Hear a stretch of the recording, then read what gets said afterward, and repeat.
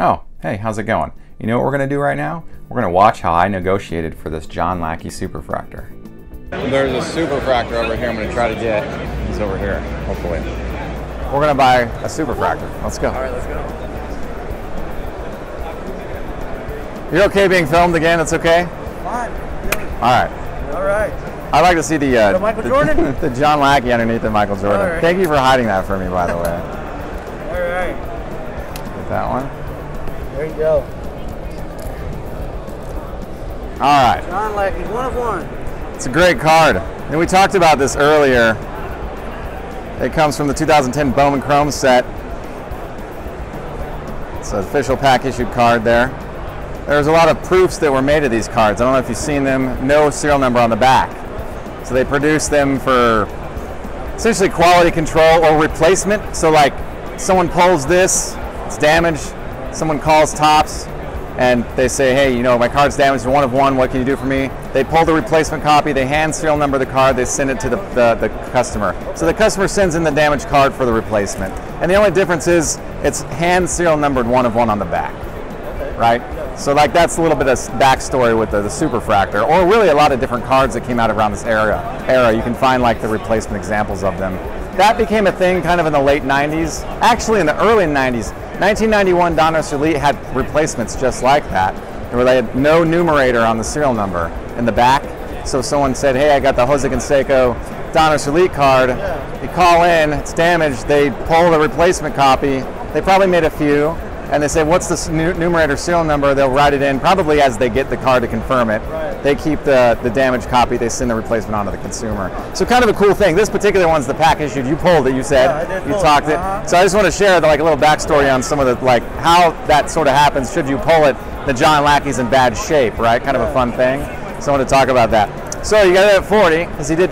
Now tell us how you priced the 40. So um, I got on eBay and looked at uh, comps, similar comps. Yeah. Obviously, you're not going to find a one of one, but um, I went off of you know one of 25, Sure. one of 50, Right. and I said, you know what, those were going for about 25. I mean, uh, what was it? Uh, 25. I think 40 for the um, 25 number to 25, Right. something like that. Yeah. I said, you know what, um, I think 40 is about fair. Yeah. Yeah, so- And how long have you said you've had this on display? Uh, first time dealer. Yeah. At this show. Okay. So that's been in storage since uh, 2010 2010. when you pulled it. Uh, I took it out of storage and I put it in display. Yeah. Yeah. And so you um, has have you had any in- interest in this car before I came to you for I about it? one gentleman look at it. He Yeah. said, "What is that?" I said, "It's a one-to-one superfractor." And what did he He's say? He's like, "What's a superfractor?" really? You had to explain to "Uh, him. One of one. Kind of gave him a little bit of. He's like, "Okay." Walked away. Really? Yeah. Interesting. Yeah.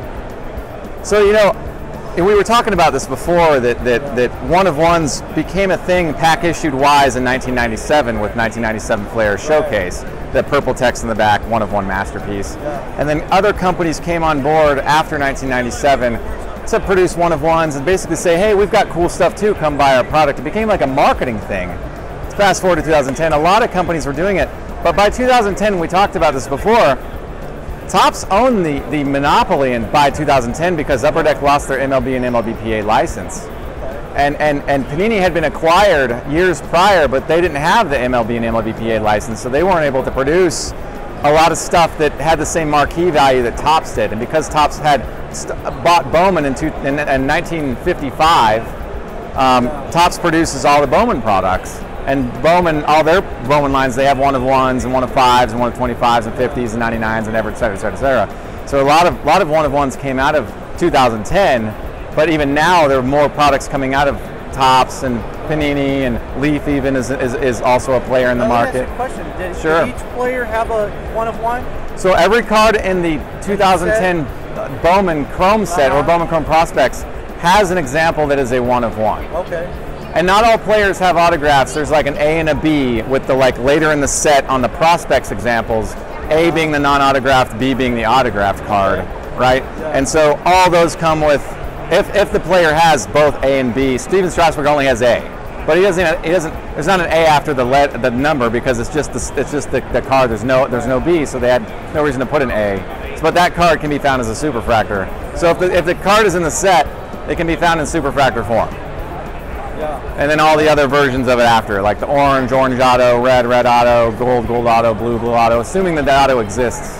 So kind of a cool little backstory about 2010 Bowman Chrome. A favorite set of mine. I really appreciate the design of this set. I like that when you bought the packs, you remember it was two paper and two chrome. Yes. Like that was the thing. You remember that? Remember that? Yeah. Yeah, and so and the chrome cards had a really interesting uh, concave to them. They were they kind of bended over time. You Right, remember, I remember right, I that. remember that. Uh-huh. Yeah. So I, I would like to, if you're interested, would 30 be a good counter for this?